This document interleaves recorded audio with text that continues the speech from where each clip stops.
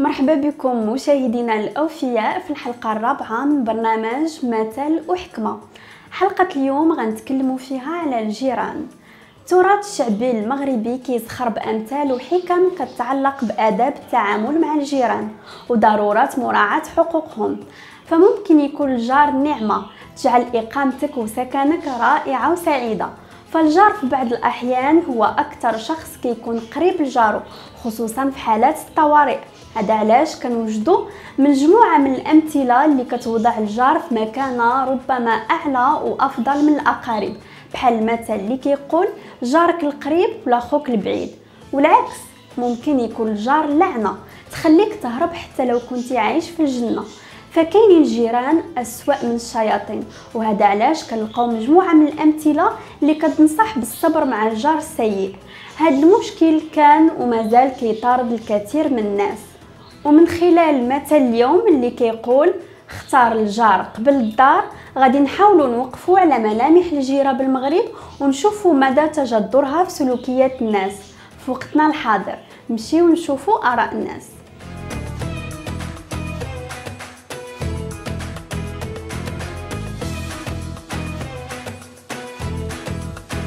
لأن الجار غتعيشي معاه طول حياتك.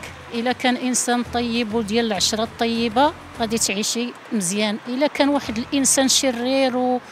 وماشي مربي وما مربيش وليداتو غتعيشي في جحيم معاه دائما. دائما رانا كنشوفوا حنا الحمد لله ما عمر وقعت لنا اللهم لك الحمد والشكر ولكن بنتي راه كنشوفوا الجار قبل الدار. أنا مع المثل اللي كيقول آه، اختار الجار قبل الدار. آه، حيت آه، إلا ما كانش الجار مناسب ما غاش نرتاحوا ما غاش نلقاو الراحة ديالنا. حيت علاش كنقلبوا على الدار كنقلبوا باش نرتاحوا إلا كانوا الجيران ديالنا ماشي في المستوى اللي بغيناه معناها ما كاين دار ما كاين ما كاين استقرار. بالنسبة لأول حاجة ضروري خصك تشوف الجار قبل الدار الرسول عليه الصلاة والسلام كان وصلنا على هذا إنك ضروري الجار لأن الجار هو إلا ما كانش جار مزيان يعني راك ما ما تكونش عايش أنت مرتاح. ما بقى يديرونجيك الا كان شي جار فيه ديرونجمون ولا شي حاجة ما بقى يديرونجيك يصدعك ضروري كتشوف الجار بعدا هو الأول الجيران ديال شي موبل إلا كانوا مزيانين ديك الساعات كيمكن لك إنك تكون أنت مرتاح في السكنة ديالك. حتى ضروري خصك تعرف فين ترتاح السكنة هي الأساس ديال الحياة. إلا ما كانش عندك السكنة وما كانش عندك الجار مزيان راه ما تكونش مرتاح في الحياة ديالك هذيك طبيعة الحال. لا ديال الجيران ديال بكري ماشي بحال دابا بزاف بزاف. حنا كبرنا بكري كان بحالو بحال العائلة بحال أنا دابا. دابا كندوي مع خوتي في الرضاعة. شكون هما خوتي في الرضاعة؟ هما الجيران اللي كانوا مجاورين معانا. كانت كتسافر الجارة ديالنا كتمشي وكتخلي وليداتها الوالدة ديالي. الوالدة ديالي كترضعنا كترضع وليداتها. الوالده ديالي كانت كتسافر كتخلينا للجاره. الجاره كترضع وليداتها كترضع. دابا عندي خوتي في الرضاعة هما ولاد الجيران. أنا كنعرف واحد الصديق ديالي في وجدة كان كيقري في الريف. ومشى شرا واحد القطعة أرضية بناها على يدو واحد المده هو كيبني فيها. نهار اللي مشى باش يسكن حتى المهم آه، سكن سمع واحد آه، في حي راقي هذا الشيء ماشي في شي حي هذا حي راقي. سمعت تما واحد عاق والديه فهمتني؟ باع داك الدار قال لك ولادي غيسمعوا ذاك السيد غيوليو حتى هما داك الشيء وكاين تجارب أخرى. شحال هادي كان الجار كيحن في جارو ما دابا كل واحد ولا سد على باب دارو.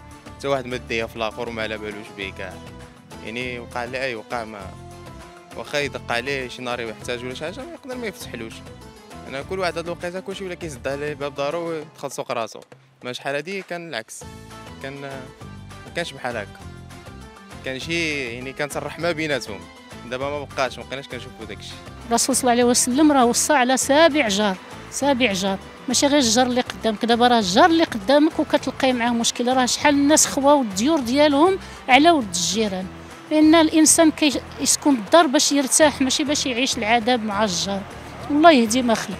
لا لا لا كاين فرق كبير. دابا الناس دابا الثقة ما بقاش البشر ما بقاش كما كانش ما بقاش شي حوايج بزاف اللي كنا كنعرفهم كان الجار والجار دابا كنتي سعيد معاه دابا ما بقى لا عيد لا حتى شي حاجة. ولينا عايشين العيشة ديال الغربة دابا هنا في هذه البلاد الصراحه كنا العيد الكبير كنعيدوا مجموعين.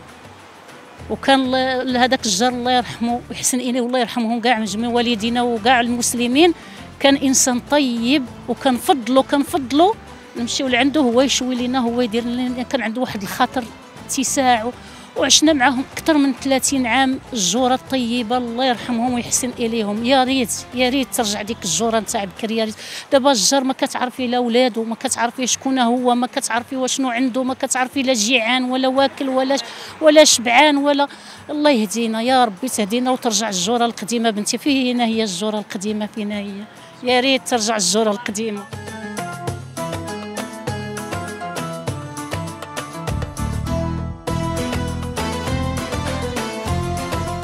إذا مشاهدينا مهما اختلفت آراء الناس حول الجيران ومهما كان جارك غريب عليك أو قريب منك فواجب عليك تعاملوا باحترام لما في ذلك من أجر وثواب عند الله. والله يرزقنا ويرزقكم بجيران زوينين. إلى اللقاء.